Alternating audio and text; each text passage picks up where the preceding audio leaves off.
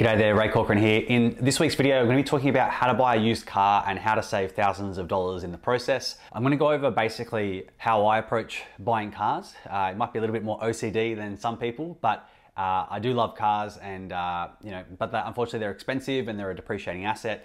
So it's important to me uh, to make sure that I get a good deal on it. In this video, we're going to be going over um, each stage of the car buying process and how you can make basically make money at every stage and uh, make sure that uh, by the end of it that you've basically got the maximum car for the minimum cost. So on this channel, one of the big things that I really focus on is uh, big wins and saving money for the big things in life. So weddings, babies, house, car. If you can get good savings on the big things in life, that can be uh, the equivalent of saving thousands and thousands of coffees and smaller expenses in your life. And one of the things that I want to go over as well is that it's not just a spreadsheet or financial decision. There are other factors. The price of the car is not the only factor. It's very important, but it's also about your lifestyle and comfort and convenience and happiness and all the benefits that you get from a car. So I don't want to look at this. If we looked at this from a purely financial uh, perspective, even though this is a finance channel, that you know we would end up looking at just the crappiest cars, the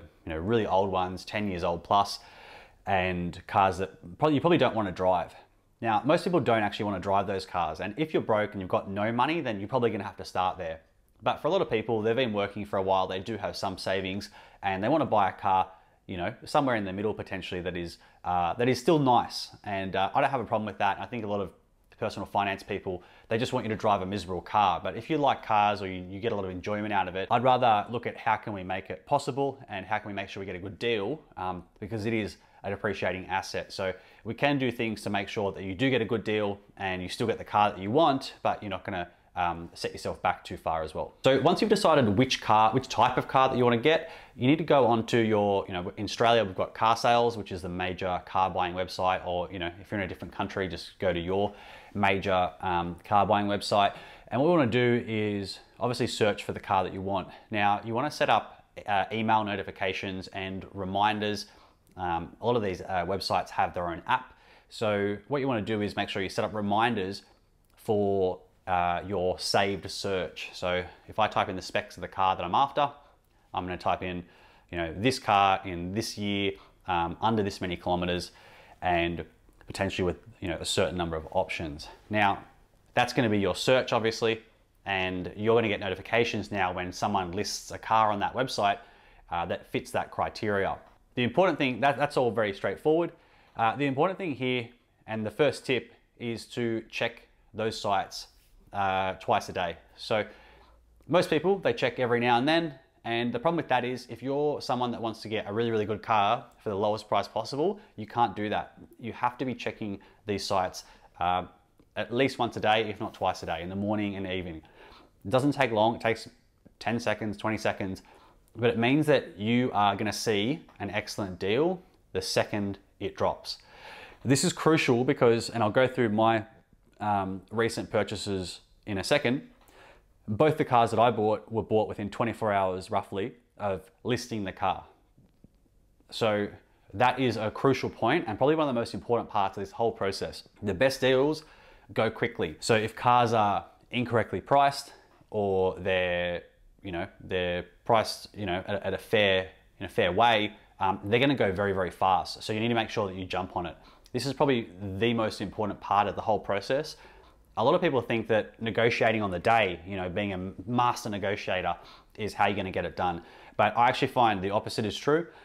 Um, you definitely will negotiate, um, but I reckon 80% of the work is done when you get you find the right car priced correctly on the website from the get-go. Then when you get there, you'll still negotiate, but a lot of the hard work is done. You'll try and negotiate a little bit further and that's how you land on an excellent price. So to demonstrate this, I'll kind of go over uh, two cars that I've purchased recently. So uh, my car, which is a BMW M3 competition pack, and my wife's car, which is a Audi Q5 Sport. So both these cars, as I said, they were listed. Uh, I was checking, when, when I bought, both bought these at different times, I didn't buy them at the same time. But basically, when I was buying each of these cars, I was checking twice a day, sometimes even more because I, I love cars, but I was checking super regularly both these deals, the BMW for example, that is a $160,000 car, brand new. Um, and in Australia, by the way, if you're not in Australia, the car prices are ridiculous here. We get big taxes, so cars are way more expensive than they need to be. But basically, that car's 160k new, second hand, uh, which is what I got mine. We had about 20,000 k's on it, still in excellent condition. But second hand, they're probably worth that, you know that many k's, and uh, the spec that I got it in was about 110,000 to 115,000. However, I saw one come up that was listed at 96,000, which was not unusual. It was not outrageous, but it was a very, very good price, especially considering the car was black. Um, black ones, there's not as many black ones around. They're generally more desirable. There's lots of white ones for sale, so you can get them a lot cheaper. So it was kind of partially incorrectly priced, and the other half is uh, the seller just wanted to get rid of it. And all these things are going to be benefits to you. People that don't know how to price their car either don't care how they price their car, you know, maybe they got a lot of money. Um, people that don't like selling cars, that's going to be a major one. People, a lot of people don't like selling cars. I don't, don't really like selling cars. You get all the stupid SMSs, you get all the annoying people.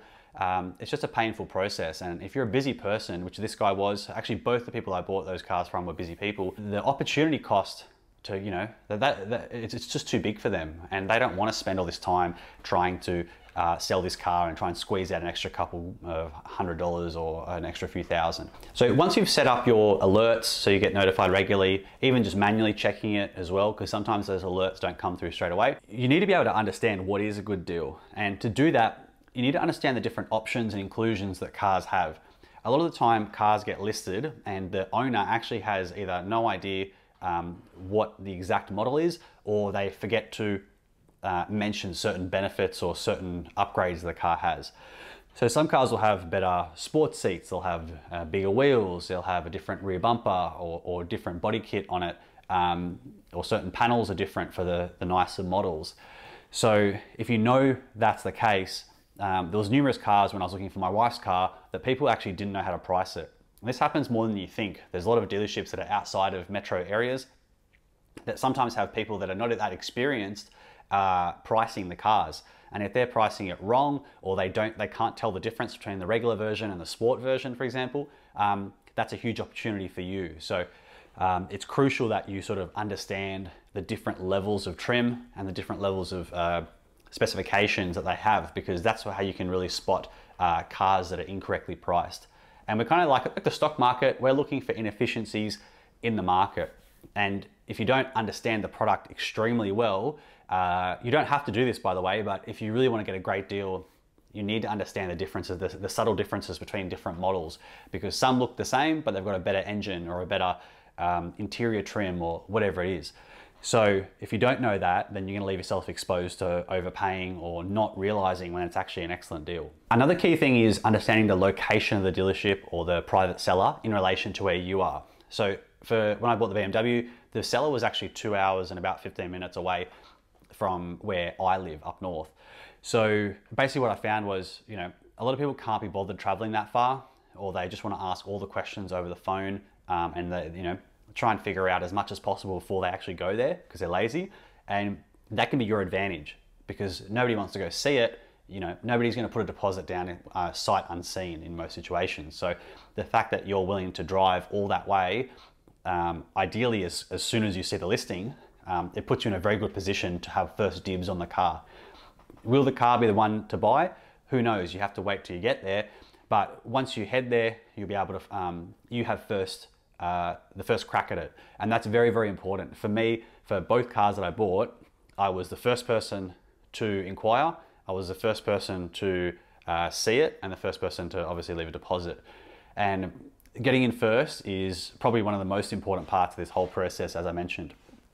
So keep that in mind. If you're looking for a car right now, make sure that you're first. It's very, very important. If they want to catch up, you know, if they want to do an inspection on Saturday and it's Thursday, try get it in on Friday, Friday morning, Thursday night.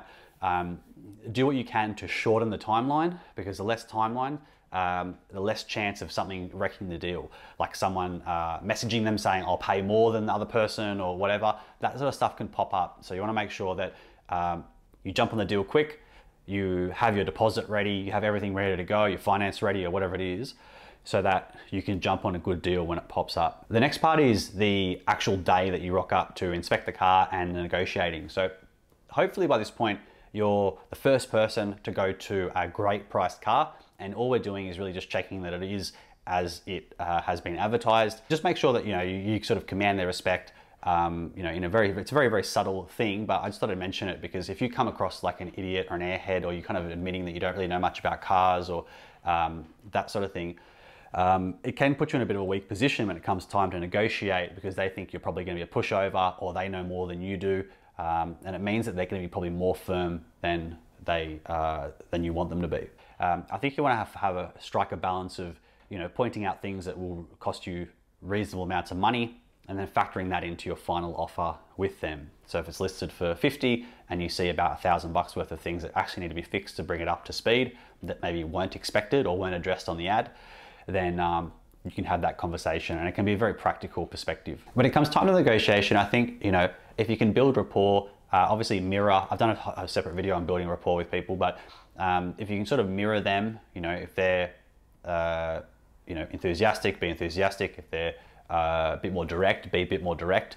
Uh, you can build that rapport faster. The more rapport that you can build with that person uh, when it comes time to the negotiation, um, you know, they do like you and they're kind of, people are more flexible for people they like generally. Um, and the way I frame it normally is, I always say to them, I'm like, look, I, and I actually mean this when I say it, is I'm not gonna give you a disrespectful offer, uh, but if we could get the price to here, um, I would put a deposit down right now, pending any mechanical inspections that, I've done that last two times and they've always accepted it. And I've never tried to get the lowest, you know, most offensive price I could get from them. You know, I'm sure some people I could squeeze out an extra few hundred bucks or an extra thousand or whatever. Um, I also don't want to piss them off because if I'm going to inspect it, it's already a good deal. Uh, I am not going to go inspect it unless I see that it's like already pretty priced pretty well. And then I'm just trying to squeeze out that last sort of extra mile out of the car.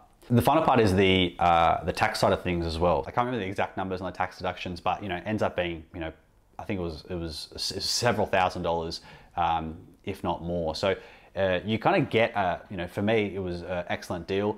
Sure, it's a, still a depreciating asset, but I was able to get something that I really wanted. You know, $160,000 asset when it was brand new. Um, you know, very shortly after it was uh, was brand new, like it's still it's still very new, still in good nick, still a, a late model car and I get to have that for under half the cost pretty much, um, or around around half, give or take.